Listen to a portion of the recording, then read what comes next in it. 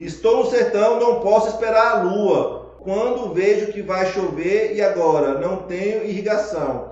Então, aí você pode plantar antes, tá? Você pode plantar antes, você pode fazer a cobertura do solo, tá? Então, esperar a chuva, tá? Esperar a chuva da melhor forma, tá? Por isso que é importante o planejamento do sistema, porque você está no sertão, não tem irrigação. Então, se você for esperar a chuva para começar a se movimentar, vai chover e você não vai ter condições de plantar. Então já prepara o seu solo, já aduba, já traz a matéria orgânica, já deixa tudo pronto. Choveu, você vai lá e planta. e planta, tá? E se chover não for o dia adequado, a matéria orgânica vai segurar a água, vai segurar a umidade e aí vai ter condições para você plantar de forma abundante. E também não é só uma cultura que você tem que plantar, você tem que plantar várias culturas, trazer abundância para o seu sistema. Tá? Isso aí é um tema que a gente pode trazer nos próximos encontros. Tá? As plantas que você pode estar trazendo, porque principalmente quem está no sertão, precisa de ter melhores condições para as plantas. Tá? Então, como a gente falou que a planta é água, tá? A gente acabou de falou isso. Então, se a gente quer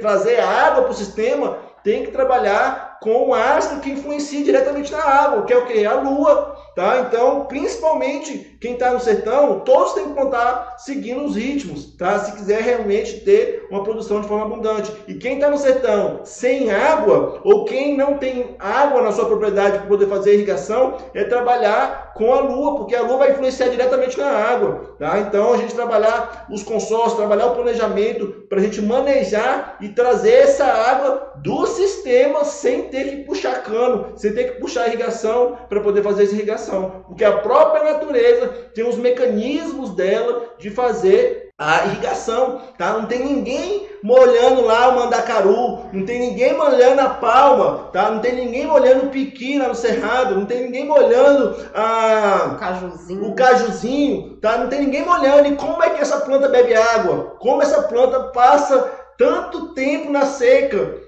Tá? Então tem plantas que a gente observa que mesmo na seca está verdinha. É. Então quais são os mecanismos que essas plantas utilizam para poder manter na seca? Tá? Então um dos mecanismos é a lua, tá? os ritmos da lua. Então trazer todos esses conceitos, esses princípios da natureza para que a gente possa entender isso e aplicar e ter uma agricultura realmente abundante e sustentável.